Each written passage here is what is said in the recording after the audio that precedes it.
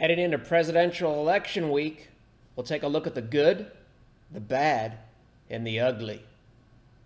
To view the video in full screen mode, use this icon in the lower right hand corner of your video player.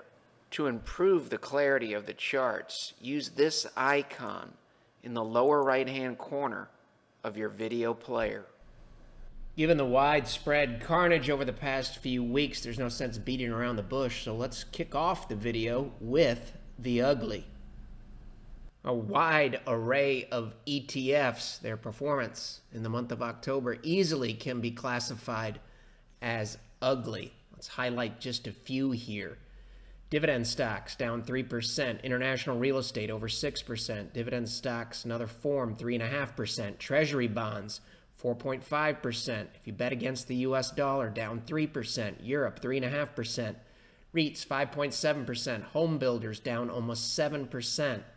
Healthcare, down over 6.5% in the month of October. Oil and gas stocks, down over 8%. Retail, 3%. International Treasury bonds over 4%, oil 3.38%, Australia 3%, Switzerland over 5%, Singapore 4.7. UK 5.3, South Korea 4.7, natural gas over 9%. Biotech stocks lost over 11% in the month of October, small cap value down over 3%. And clean energy stocks, ticker symbol PBW, in the month of October down over 5%. The average loss of the ETFs shown in orange, month of October, over 5%. Has ETF performance improved in early November? The answer is not yet. From Twitter, here's the Twitter handle. This is a weekly recap. You can see numerous ETFs across a wide array of asset classes had a very painful week. Sticking with the ugly, here's our long-term consolidation box that we've been watching. This is calendar year 2013 here. If we look at the broad NYSE composite, now we're roughly 8% below where we were in July of 2014 and roughly 9% below the peak in the spring of 2015. Sticking with the ugly. Last week we talked about this downward sloping trend channel here. This is the weekly version. What once acted as resistance may now act as support. You can see we blew right through that. What once acted as resistance may now act as support. So it's possible that even under bullish conditions, the S&P 500 would drop below 2060 if it held in this area here. Doesn't get much uglier than this. The last nine trading days from a fear or anticipated volatility perspective, the VIX has been green nine days in a row. That has never happened before. It's been 36 years since the S&P 500 dropped for nine consecutive sessions as it has done over the last nine trading days.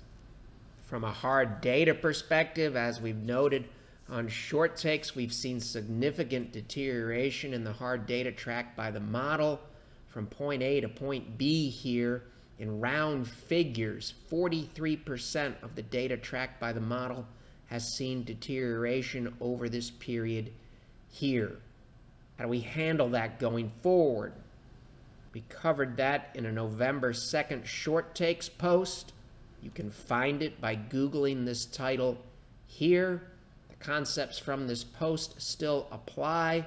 As of the close on Friday, the hard data still aligned with our current mix of cash, hybrids, and stocks.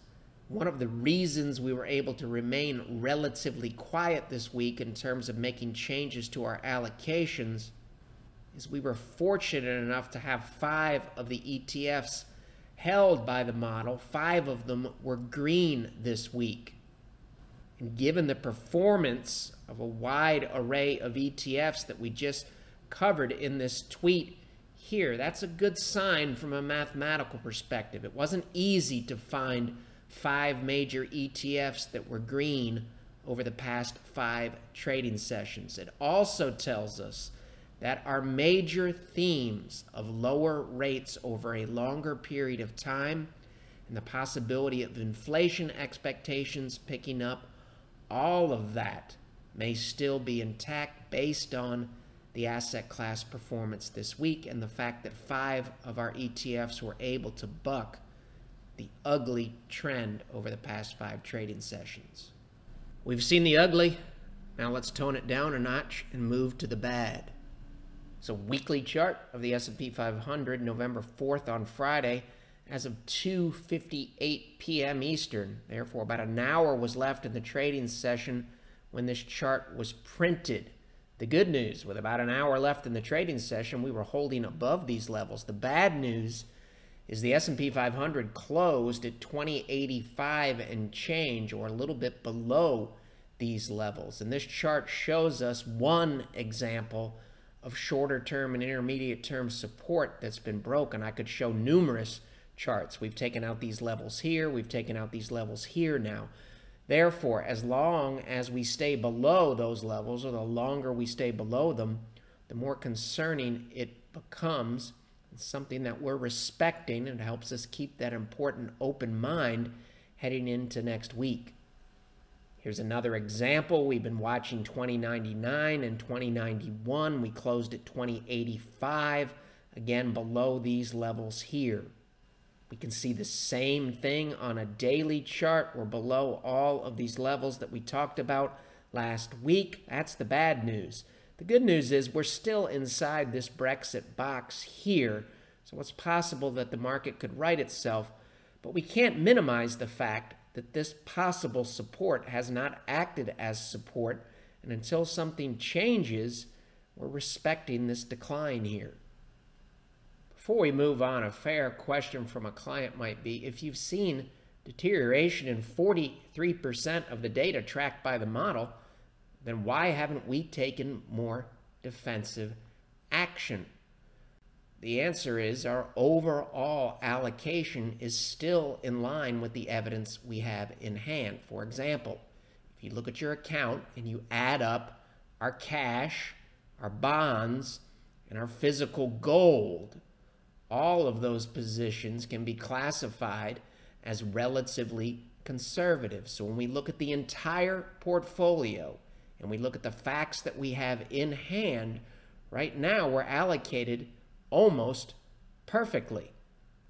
The probability of that lasting is relatively low. Why? The market's either going to fall further, and then we will have to take additional defensive action, or there's a possibility that we could see a sharp rally. Under those conditions, we might be forced by the data to redeploy some of our cash relatively quickly. How we do that is outlined in the short takes post from this week. Is there any basis for optimism going forward, looking out several weeks or several months? We'll answer that question in the good segment.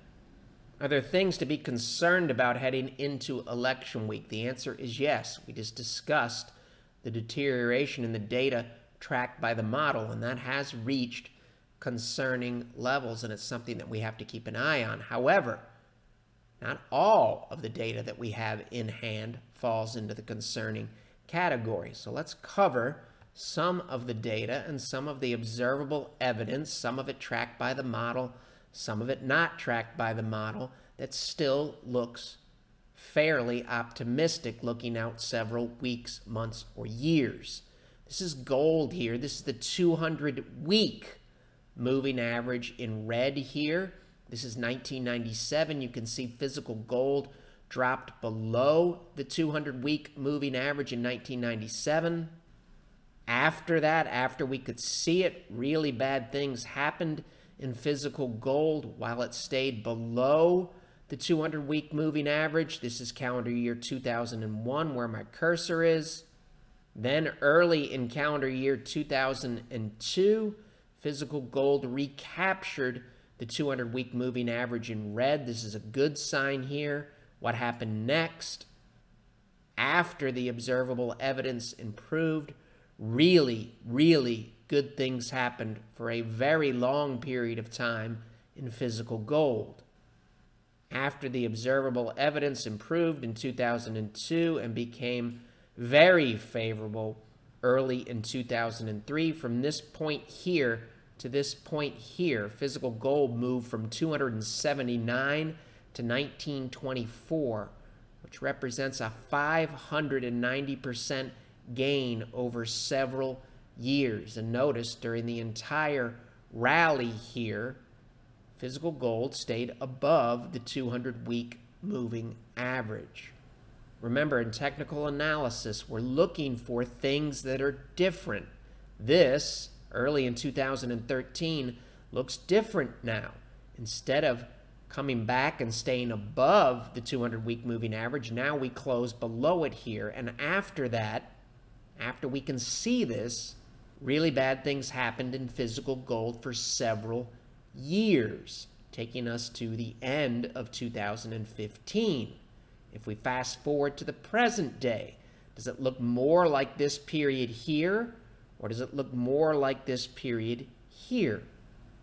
We rallied off of the low in late 2015, and you can see now, especially if we zoom in tighter, physical gold is above the 200 week moving average. This looks similar to this period here. Obviously, it doesn't mean we're going to see a gigantic move like this, but it does tell us that the probability of good things happening is higher today than it was any time during this decline in 2013, 14, and calendar year 2015.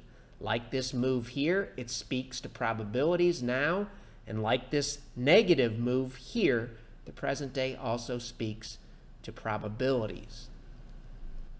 Now we're sticking with the good, or is there any observable evidence that gives us a basis for optimism? Remember, our long term for illustrative purposes only 30 week in blue, 40 week in red, and 50 week moving average in green.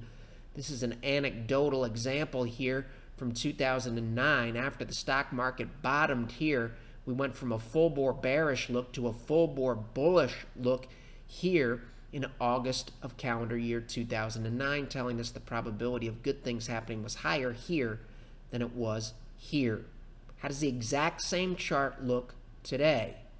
Does it look more like this over here or more like this period here?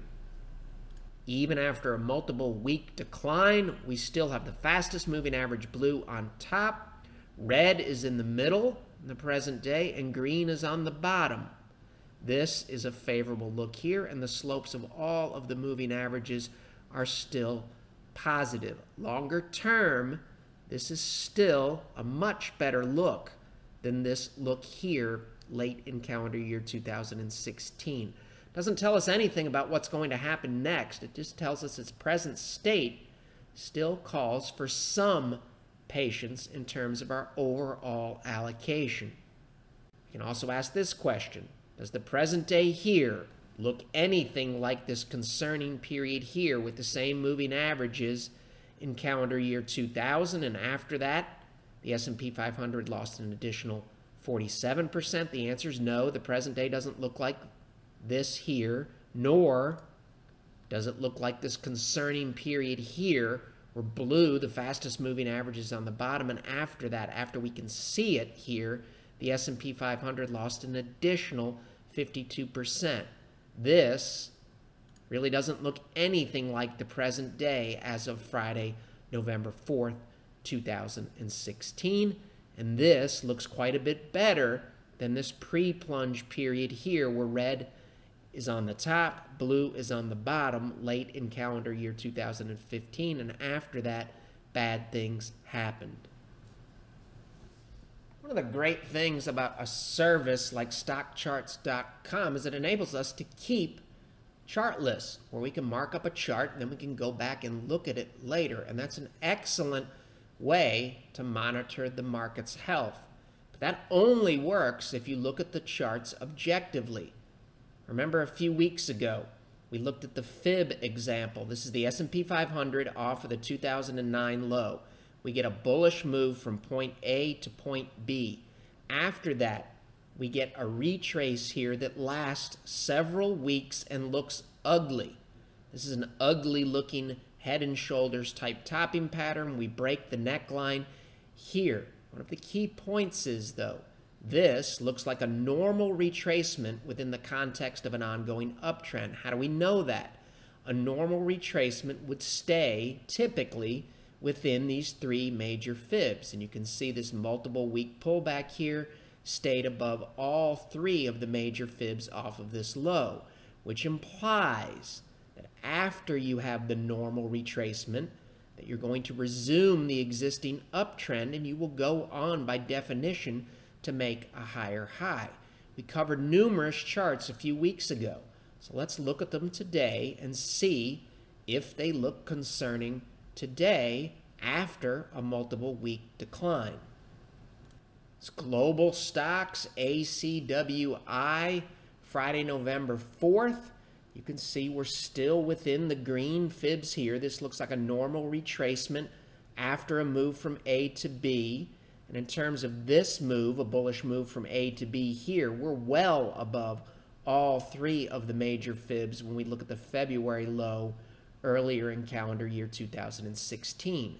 We also still have an upward sloping 200 day moving average telling us that the longer term trend from a probability perspective remains up. Does the present day here look anything like this bullish bottoming process in 2009? The answer is yes. Price recaptures a downward sloping 200 day moving average. Price recaptures a downward 200 day moving average here, downward sloping average where my cursor is. Then there's some form of a retest while the 200 day is trying to flatten out. Then there's some form of a retest while the 200 day is trying to flatten out. And then the uptrend eventually resumes after a multiple week pullback. Right now, this doesn't look materially different from this period here.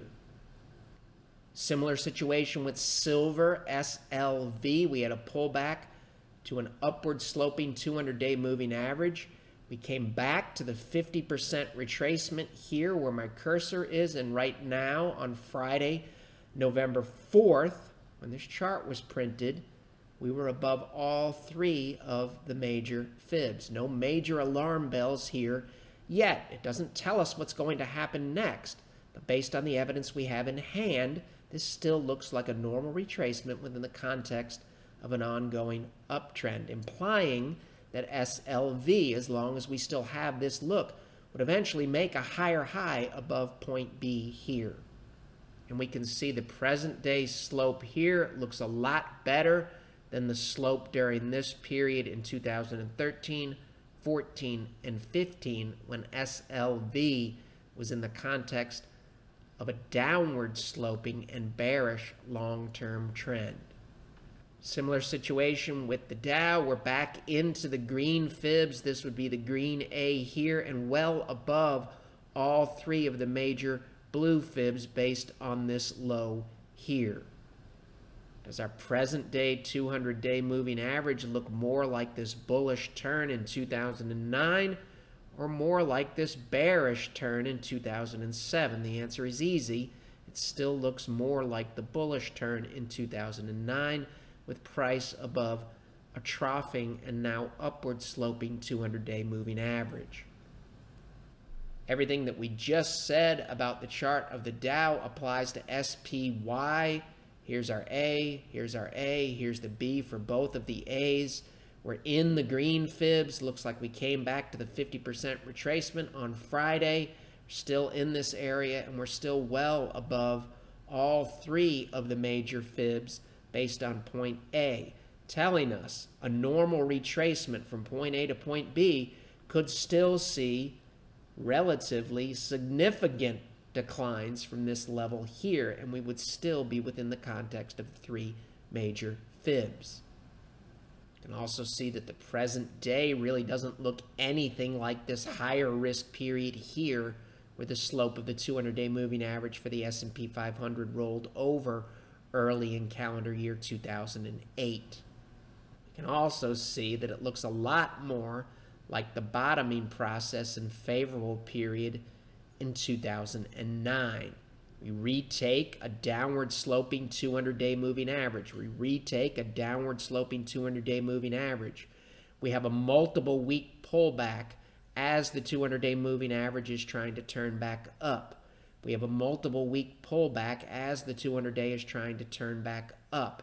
After that, we see we get multiple, multiple week pullbacks within the context of an ongoing and rising trend.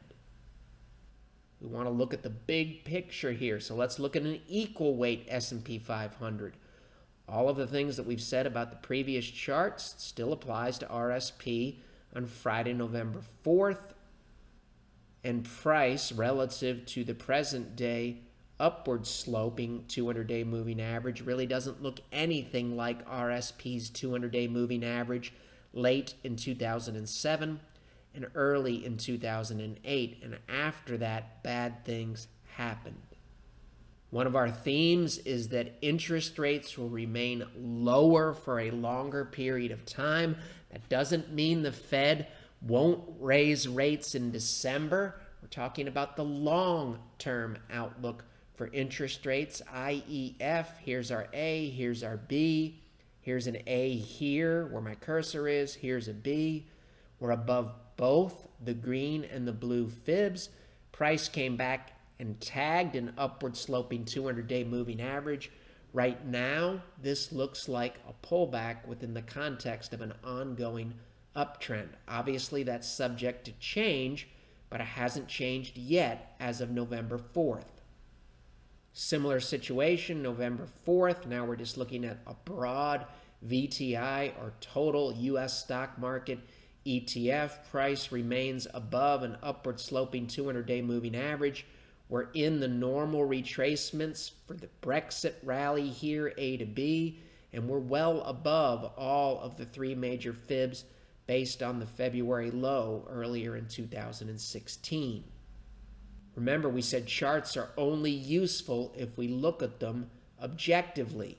If we were taking a test and the question said, does the present day chart here look more like this concerning period in late 2007, or does it look more like this improving period from a probability perspective in early 2009? The answer is easy. We have a trough here in the 200 day moving average and it's turning back up. We have a trough in the 200 day moving average and it's turning back up. Obviously, all of this is subject to change and it could morph into a look like this.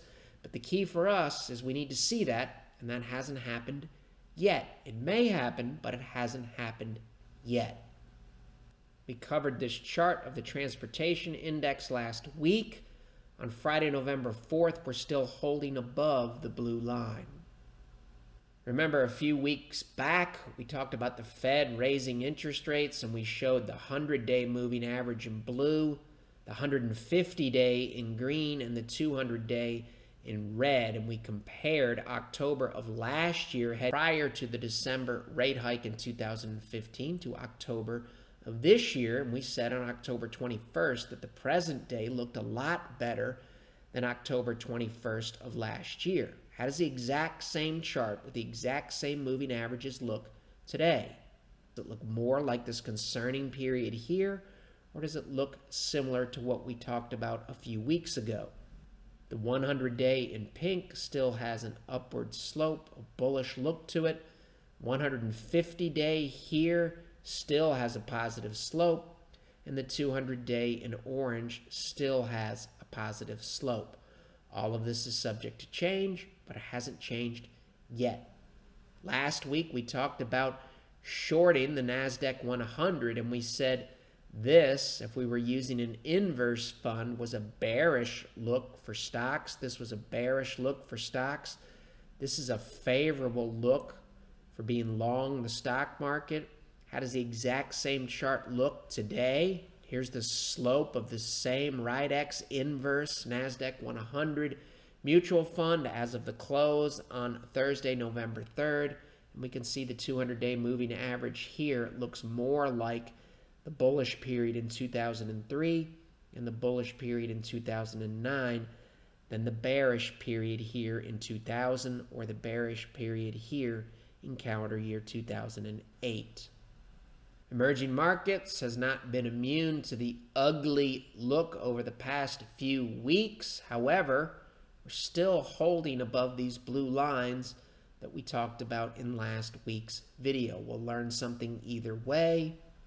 Last week we talked about rising inflation expectations. If precious metals were going up this week purely out of fear, based on fear of the election, we wouldn't expect silver SLV to be outperforming GLD. We would expect just the opposite. We would expect fear based gold to be outperforming economically based SLV. That's not what we had. On Friday, November 4th, the weekly chart said that SLV was outperforming GLD by over 1% on Friday, November 4th over the past five trading sessions. And it looks like we could be in retest mode here of this bullish breakout that we covered last week. We'll learn something either way. High beta stocks, November 4th, we're still holding above several levels here. As long as this chart can stay above these blue lines, it still has a relatively favorable look. If you want to look at this from a glass half empty perspective, this could be a left shoulder, this could be a head, and this could be a right shoulder. However, I remember a few weeks ago and even earlier in this video, we covered a similar bearish topping pattern look here, and in this case, we even broke the neckline. Therefore, that pattern is concerning, but it's just one piece of evidence that we'll take within the context of the weight of the evidence. Remember last week we looked at this chart and said, is there any basis for hope relative to TLT bouncing? We did get a bounce near this trend line. TLT was green this week. And this also aligns with the theory of lower interest rates for a longer period of time. That's the instance where bonds and precious metals can both rise in unison. It's exactly what happened this week. GLD was green and TLT was green. Remember a few weeks back, we talked about consolidation and then trying to capture gains over a long period of time after you get a bullish long-term signal. This looks easy, but if we zoom into the weekly chart and then shift over to a daily chart, Remember, we said if you bought the breakout here, you would have been disappointed six weeks later, three months later, five months later, even 10 months later, because over that period, there were pullbacks of 3%, 6%, 4%, almost 7%. But that occurred within the context of a 14% gain from point A to point B. When we look backwards, it's easy to understand that markets pull back within the context of a rising trend. Remember, we took these percentages and we applied them to the present day on September 14th. So we said if the S&P 500 in the present day pulled back in a similar manner to these retracements here within the context of an uptrend, then the present day S&P 500 could drop to any one of these thin lines on the chart. We said that several weeks ago. So where do we stand now? These are the exact same lines that we showed several weeks ago when we said a normal pullback might fall into any one of these areas here. This is the same chart, same levels as of Friday, November 4th. And you can see we're right in the meat of what could be a typical pullback from that anecdotal example. We also know our fibs the Brexit low, point A and point B up here. Here are three major fibs. The 61.8% retracement is down at 2069. So even under this A here, we could still fall back to 2069. We also have the A to B fibs that we've shown on other charts based on the February low that come in at even lower levels. But right now, this looks like a relatively normal pullback within the context of a rising trend, and that is obviously subject to change. We still have some relevant guideposts on our DeMark charts. DeMark charts and indicators are proprietary tools from Market Studies LLC. This is a daily DeMark chart here. This is propulsion. These are the magnets here. Our daily magnet on the downside is 2058. Think of this as possible support here at 2058 on the daily chart of the S&P 500. Our magnet on the upside currently sits at 2275, telling us based on propulsion, DeMark propulsion, the risk reward right now is relatively favorable. The monthly chart can also help us keep an open mind about very favorable outcomes and very unfavorable outcomes. And under our system, that's extremely important. The magnet monthly, 2340. Magnet on the low end here, 1793. Two other guideposts, 2075. We closed at 2085 on Friday. Another guidepost at 1966. White space, white space. It calls for maximum flexibility heading into election week. How about from a fundamental perspective? Of course, this is anecdotal evidence from Twitter. Here's the Twitter handle if you want to look at it. This is a neat chart here. It shows retail and food services sales in red here. So this is sales. This is the S&P 500 here. Notice in 2007 and 2008, the red line, or sales, made a lower high. In the present day, has it made a lower high? No, it just made a new all-time high. This line here speaks to fundamentals relative to deteriorating fundamentals in these industries in calendar year 2008. If you follow Urban, you know he has an outstanding grasp of the fundamentals that impact markets, and he understands how to differentiate the fundamentals that you see in a bull market and the fundamentals that you typically see in a bear market.